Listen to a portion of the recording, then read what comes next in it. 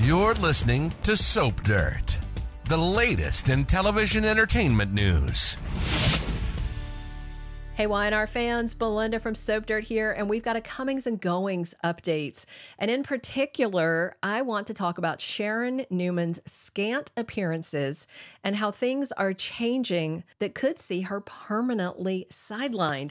We're also going to talk about who else is in and who is out at the CBS soap opera. But first, please click subscribe if you have not. So, real quick, before we talk about Sharon and also Nick and Sally, I want to talk about a few other casting tidbits. First, we do have a little while longer with Christopher Cousins as Dr. Alan Laurent. Initially, he was set to film just 10 episodes in April to air in May, but then Cousins said CBS extended his run and he shot through May. No word if he is wrapped yet or is still shooting, but he at least shot through May. And that means Ashley Abbott's DID story will last well into June. And we're about to hit the high notes in this storyline this week when Ashley, Traci Abbott, and the good doctor are in Paris investigating, and they're going to find out the good doctor has what sounds like a bad brother who might be the source of Ashley's trauma that caused her split personalities. And we've also heard and seen Reylynn Caster is back as Faith Newman soon in a behind the scenes photo with her and her TV parent. She was spotted on set with Sharon Newman and Nick Newman, actors Sharon Case and Joshua Morrow, and her sister Mariah Copeland, who is played by Camryn Grimes. No word on why Reylynn Caster is back as Faith, but you know, most soaps usually do young adult stuff in the summer when soap veterans take their annual vacations. So we last saw Faith Newman when she headed back to school after Cameron Kirsten killed her cat, kidnapped her, and her mom, Sharon, killed the guy. Understandably, Faith wanted to get back to school and far away from the drama in Genoa City.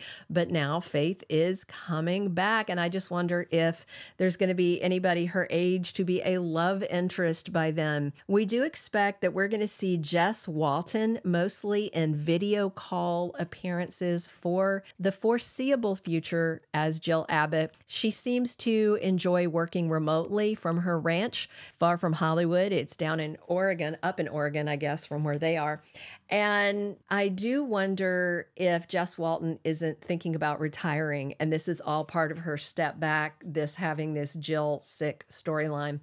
And the Chancellor Winters chat reminds me of somebody else that we see rarely these days Conner Floyd as Chance Chancellor. Has he been sidelined also, or just dropped to recurring? I mean, he doesn't have much of a storyline. He's a low level executive at Chancellor Winters in some of the most boring storylines that Y&R has scripted in recent memory. His romance with Summer seems sweet, but doesn't have a lot of drama, doesn't have a lot of teeth. It's kind of dull. And with Conner rarely seen, I have to wonder if he's headed out the door. Maybe. We'll let you know when we hear something. He's not been spotted in the credits for a while either. So that is a definite red flag. Something is up. However, if you probably know this by now, CBS Daytime rarely announces exits. They tend to just quietly sideline people and they think, you know, maybe fans won't notice. I don't know why they think soap fans don't notice things when they notice everything.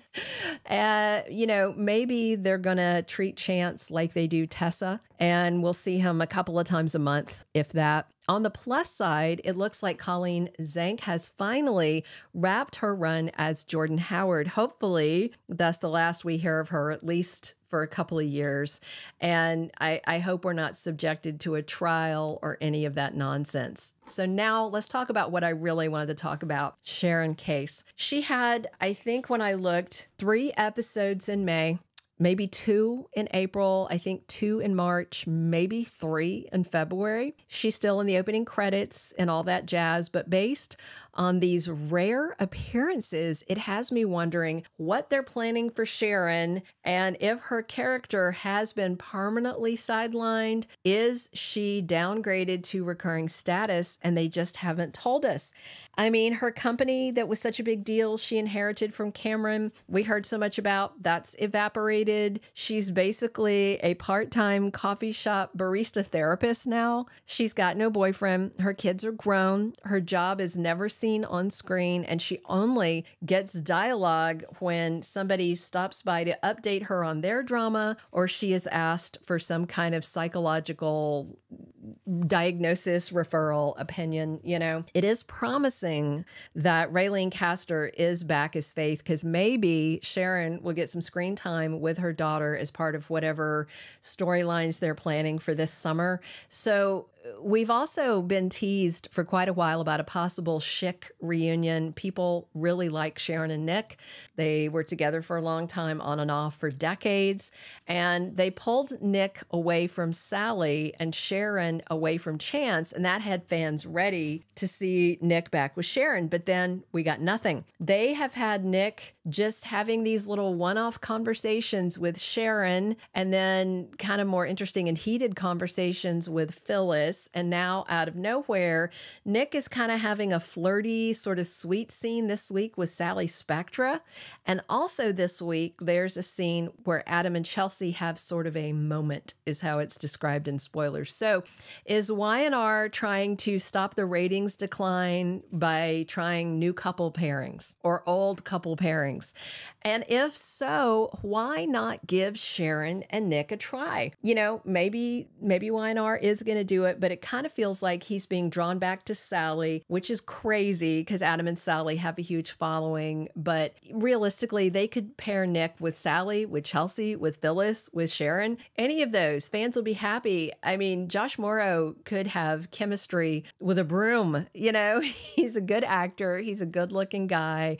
Chemistry's not the problem. Um, I didn't really like him with Sage, but aside from that, you know, I've enjoyed him with a lot of different women, and having Nick without romance in his life on Young the Restless makes no sense to me. And with Sharon Newman sitting around with no love in her life, it seems like a wasted opportunity. Just try it, see what happens. It doesn't seem like Joshua Morrow is going anywhere. As a matter of fact, he's got a standalone episode coming up to celebrate his 30th anniversary at the CBS soap opera. But what I'm most concerned about is Sharon case. And if she's going to stay sidelined and we continue to see Sharon Newman only rarely, has CBS quietly moved her to recurring and they thought nobody would notice? Maybe. I mean, that's kind of the way they insult fans over there. So that's it. That's our Y&R Comings and Goings update for this week. Keep an eye out for those rarely seen Sharon appearances and for the wrap up of Ashley's story and Alan's exit when it comes soon. Drop your comments on what you think. Have you noticed how rarely Sharon Case has been on? Are you worried they have moved her to recurring? Please click subscribe if you haven't. We really appreciate you supporting the channel and definitely come back soon. We're here talking Young and the Restless seven days a week. And as always, I'm your host, Belinda from Soap Dirt. Thank you for being a loyal listener. Follow us wherever you get your podcast because you don't want to miss the next episode. Soap Dirt is on all the major podcast platforms, including Apple Podcast, Spotify, iHeartRadio, and more.